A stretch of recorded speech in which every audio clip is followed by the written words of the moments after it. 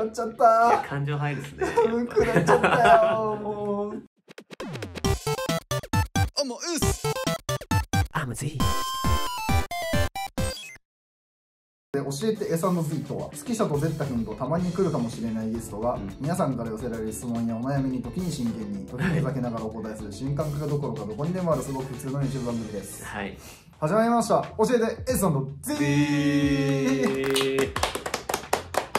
教えて S&Z いや昔のノリが戻ってきましてななんでさかぶせが完璧なのなんで完璧にかぶせこんだけやってますからねはい、うん、やるじゃん回ってきますよ、うん教えてはい三軒茶屋のクソメガネこと好き者ですはいメガネが見つかりましたはいクソメガネです毎回やるぞこれそして A を ZETTS その後に KUN つけたらば絶対くんです Z ザ ET ザ TTS そう俺に任しきゃ間違いね怒られるっすマジで何かしらの方向から本当に良くないからうんニート東京とかでやったらマジでキレられるマジで切れられるんではい絶対くんですよろしくお願いしますはいはい教えてということで好き者からの告知ファイ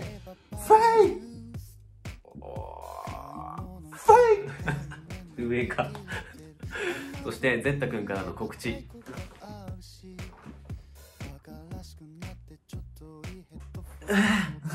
下げましたね。ありました、教えて。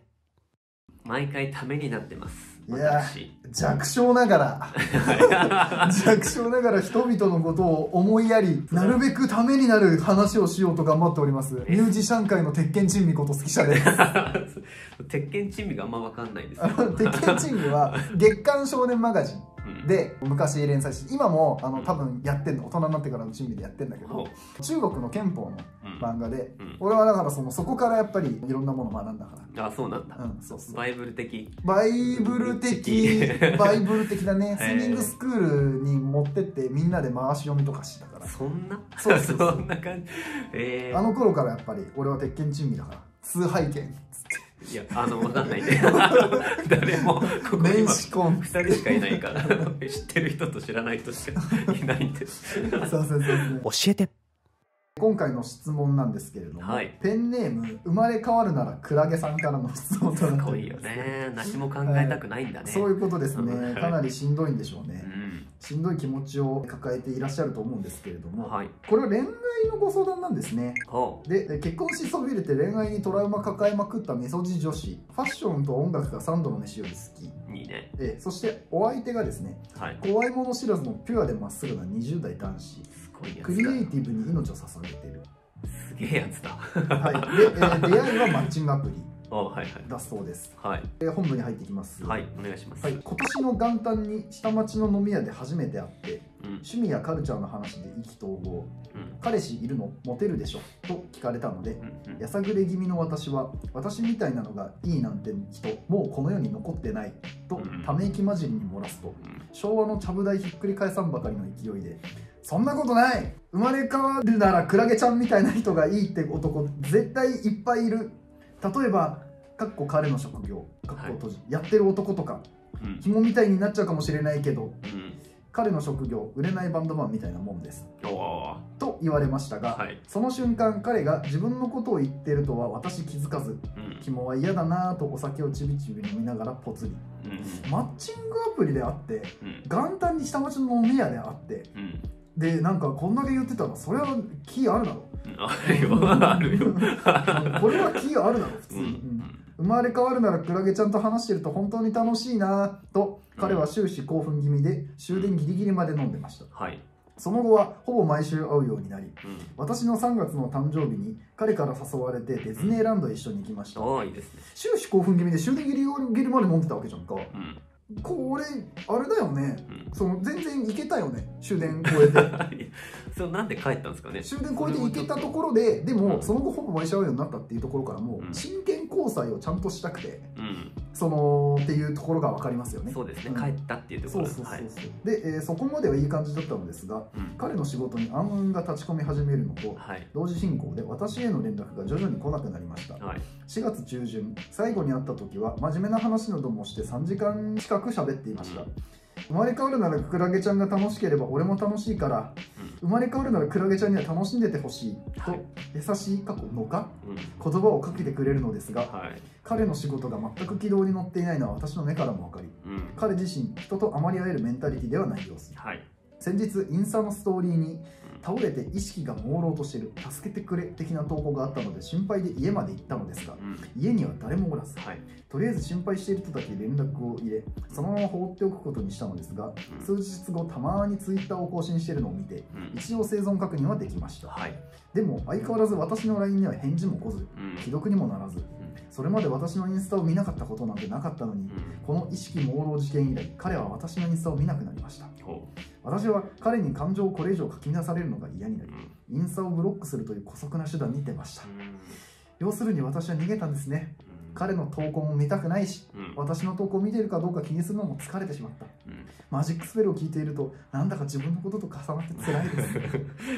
別に付き合っているわけでもなく彼が私を好きかどうかも確かなものはありません。はい。このまま彼を好きでいてもきっと辛いだけなんだろうなと思いこの後どうすべきか悩んでます。そいつ辞めて34歳のミュージシャンにくら替えしたいです。マジでこちらです。34歳ミュージシャン。はい、ミュージシえー、質問の内容からも分かると思うんですけれどもはい。めちゃくちゃ前の質問です。僕も35歳になりました。3月4そうだ月ってそれいつのことだって1年前じゃんこれっていう。そうだった。はい、うんねもう感じになっております。もうどうにかなってることでしょうけど。なってることだとは思いますけれども、うん。答えさせてください。すみません、はい。教えて。私からの回答なんですけども、はい。早めに嫌いになってください。その人はね 本当に良くないですよ。あ嫌いにならなきゃいけないって悲しいよ。そうなんですよああのまず僕が引っかかったのはーインスタのストーリーにさはい「助けてくれ」的なメッセージはいはいはいはい。を残してたみたいなうん。その不特定多数の人にさうん「助けてくれ」って発信するやつにうん。ろくなやつはいません。あ とこれが親しい友達向けだったかどうかが気になるよね。いやそうじゃないんじゃない？ただだとしても親しい友達にいっぱい入れてると思うのよ、つまりその自分に構ってくれっていうまあそうだね。優しくしてほしいよね明らかに明らかにもう誰でもいい感じがうんあるんでいもうやでもさこういう時ってさ、不特定多数に言ってるから君に向けてじゃないよっていうさあの恥隠しみたいなところもあるじゃん。実は見てほしい人間が決まってる場合もある。そんなことある？あるあるあるあるあるよあるあるあることしかなんとなくわかるよ想像つくへえうん。ちょっと僕はそれが分かんなかったんで、まあっていうふうに俺が思うからっていうだけでまあそうじゃない可能性も全然あるけどうんうねん、で、まあ、これ以上、まあ、この子人のことを考えても心がかき乱されるだけなんでいいことはマジでないです、あの情緒が不安定な人っていうのと一緒にいると自分も情緒が不安定になってしまうので。なんかい。その、い、ろんなことがあったんだねゼイ君も。できるだけ早めに嫌いになってください、はい、でもうブロックして逃げるとかもう自分が悪いんだっておっしゃってましたけどクラゲちゃん、う全然悪くないです。うんうん。もう逃げてください。とにかく。まあそうだとねにかくもう接しないことが大事なんで逃げまくり。それで解決するんで。なんか恋愛にトラウマ抱えまくったメソジ女子っうん。て言ってるぐらいだからさ、うん。まあ結婚しそびれてって言ってるし多分いろいろあったんだと思うのよ。いろいろあったと思うのよ。うん。ただもう僕が最後言いたいのはう、ん。あのやっぱこの方この20代の男性が飲み屋で話しかけてくれるってことは、まあ容姿はそこそこお綺麗な方だと僕想像してるんですよ。いやそれそうでしょ向彼氏にはモテるでしょって言われてるそわけだから。うそうそう。お綺麗な方だと思うんで。でも確実に俺もそう思っていたよ、うん、またその出会いを探してみてはいかがでしょうか、うん。普通に飲み歩いてるだけで、まあ、変なのもいいっぱい釣れますけど多分。はい、だってファッションと音楽が3度の飯より好きとか言っててさ、うん。うん、絶対好きな人いると思うんだよね。そう。なんでうん。また飲み歩きやってみてはいかがでしょうか、うん、もうなんかちゃんとしてるしさなんだろうちょっと好きだもんこれ だって34歳のミュージシャンにこれぐらいくら替えしたいですとか言ってくるしさ。こういう人が来るんで。そう。う んはい。ぜひまた新しい人を見つけてください。うん。教えて。S 君からどうでしょう？俺も思うんだけどうん。恋人とか好きな人とかのうん。SNS は見ない方がいいよ。マジで。マジでそう。本当に、まあね。心がかき乱そうされますね。なのよ。そう。一挙手一投足気にしちゃうしでなんかほらストーリー上げてんのにその前に LINE 返せよみたいなのがさ。ああるしそうだからツイッター更新してるとかさ、うもうこの子は多分ストーリー自分が更新した後にうん。誰が見てるかまで見に行っちゃってる。見に行っちゃってる。自分のインスタ誰が見てんだろうってとこまで見に行って、うんあ見てないなっていうふうになっちゃってるじゃん、うん。これね良くないんですよ。これはこれはね私好き者の活動「はい。ロンプハのマジック」っていう曲を出す時に、うん。あの始まったんですけど、うん。その2日前ぐらいに当時にして5年ぶりに好きになった女の子に振られてるんですよ。はいはいはい。っていう。すごいドラマチックなそうそうなんですよ。でいろいろというほどないんだけど付き合うかな？付き合うっていう感じのところまで行ったんだけど、うん。まあちょっといろいろあってなんか結局やっぱり無理ですって言って振られたんだけど、うん。その時ねうんもう本当に舐めるように SNS 見てたんだけど あれマジで良くないと思う。いいこと一個も一なさそう個もないマジ本当に一個もないから、うん、だし女性ってのは基本的に男性よりモテるのであのみそじ女子と書いてあるんですけどね、はい。統計の話ですよ。これは統計の話だって、うん。俺がそう思ってるわけでもないし、うん。そう思ってない人もたくさんいるっていうのを前提にして聞いてほしいんだけど、うん。30超えるといわゆる需要というか女性は何歳がいいかっていう話で30超えるとなんかさ寄ってくる男が減るっていうのはデータとして確実にあるんですよ。うんではあるんだけどうん。逆に30超えても好きになってくれるぐらいちゃんと自分のことが好きなんだなっていうこと、うん。そして自分が魅力的なんだなっていうことを確認できるはずだからなるほど。だから多分若い頃よりは寄ってくる人は減ってると思う、うん。けれども厳魅力選そう魅力的な人間に年齢はあまり関係がない。周りを見ていてもそう、うん。のでだからマッチングアプリで出会ってもいいし、うん。下町の飲み屋でさなんか趣味やカルチャーの話で意気投合する男なんていっぱいいるよ。うんいっぱいいるししかもそんなに収入もなさそうだし、うん。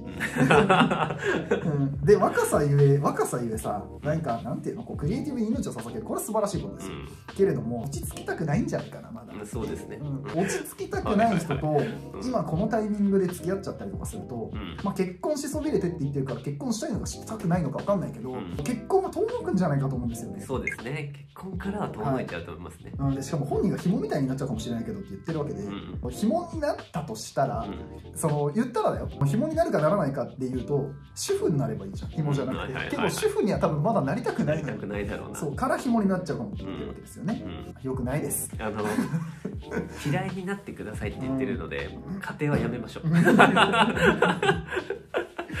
とにかく嫌いになってください。うん。はい。教えていや本当にきっと幸せに暮らしていけるよ。本当に、マジックスペルですね。うん、本当に。そうですよ。そう本当にあのマジックスペル唱えちゃダメよ。だ 本当にいい男っていっぱいいるから。唱えちゃダメ。うん。唱えちゃダメよ。世の中にはねいい男もいい女もいっぱいいるの。うん。けど何かの理由でうまくいかなくなっちゃってうん。お別れしましたっていういい男といい女がまたどこか別のところで出会うっていううん。そういう世の中になってるんですね。てるんですね。なってるんですねだからマジックスペルっていう曲があるんですね。いい曲です。本当にいい曲ですね。うんはい幸せになってくれ。やってください。はい。教えて。ということでで。そしてテストス略して OSC では皆さんからのお悩みや質問を募集しています、はい。概要欄のリンクから応募できるので どしどし応募して。ねしてね。スパムや冷やかしはやめてね。やめてください。くーくー食らっちゃった。感情入るっすね食らっちゃったよもう本当に。一段と入ってるななんか。うん幸せになってくれよマジで、はい。い、やだってそれ SNS とさうん。あの学べるように見つめていた自分のことを思い出して。